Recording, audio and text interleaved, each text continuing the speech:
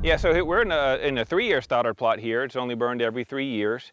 And you can kind of see in general how much greener it is, again, just three months post-fire compared to the two-year uh, return intervals. So it's been the same amount of time since fire, but these uh, sweet gums, they're all bushed out here. They're pretty much up to my waist everywhere you look. Here's a, uh, a persimmon tree.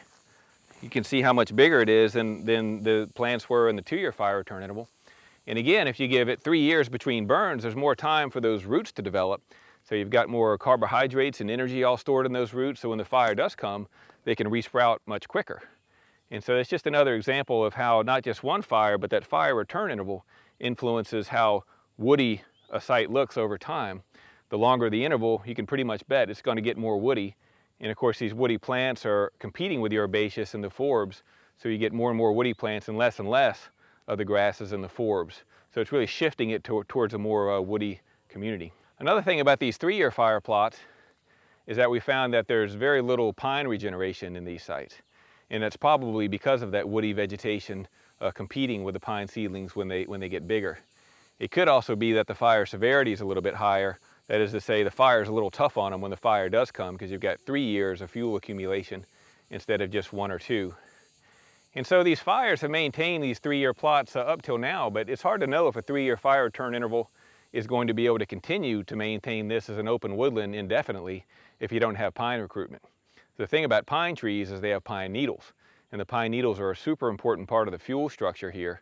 They have uh, extra energy content in them. They have these oils that make them burn really well. They also tend to be distributed pretty evenly over the ground.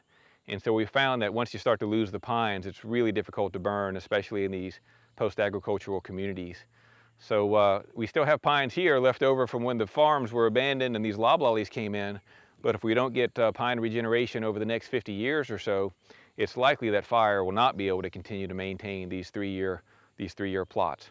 It'll take a little bit longer to see that, but uh, again, it's just uh, a reason that we, we try to keep it at that two-year return interval or shorter to be able to maintain this habitat. This is part of uh, like what's typical land management on tall timbers, which is burning every other year, burning at a two-year fire return interval.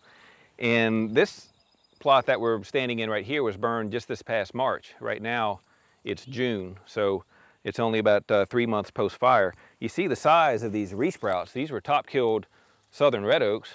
This was a top-killed sassafras, and they're about uh, up, up to my thigh at this point. So you can see how large they're getting in a relatively short period of time. But over time, they've had two years between each fire to grow their roots. And so they have a larger root system than you might expect in a one-year fire return interval, which we can look at in just a minute.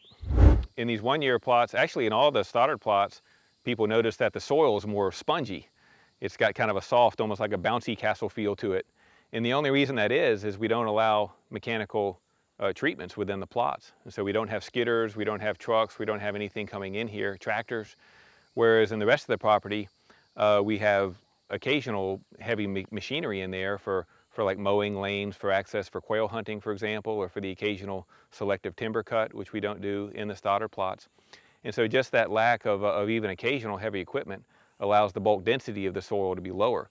It's spongier, it uh, allows for the kinds of uh, soil organisms to live that, that churn the soil all the time, that keep it kind of soft and aerated, which uh, we don't have research on it, but that's probably good for several species of plants and insects that uh, depend on that natural soil habitat that historically was a lot more aerated and, and soft and spongy than, uh, than our, our soils that we kind of use pretty heavily with heavy equipment.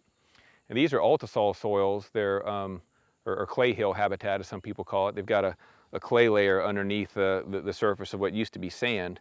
Now because of the agricultural history here, a lot of that sand is often lost and that clay is pretty close to the surface, but it's very compactable. Uh, and you know, we'd like to believe that the use of heavy equipment doesn't have any impact, but it does have some impact. We're not sure what the meaning of that impact is, if it's really significant on plants and animals or, or if it causes additional erosion because you've got higher bulk density. But um, we do know it's uh, ideal in these plots that, that the soil is closer to probably what it was historically before we had heavy equipment. We've seen the same thing in places like the Wade Tract, uh, old growth longleaf pine forest, where they also don't allow heavy equipment. The bulk density is extremely low. Um, you can even take a, a, rod of rebar and just shove it all the way in the ground at two meters deep without any effort. which uh, is, is uh, almost unbelievable in most places in the southeast.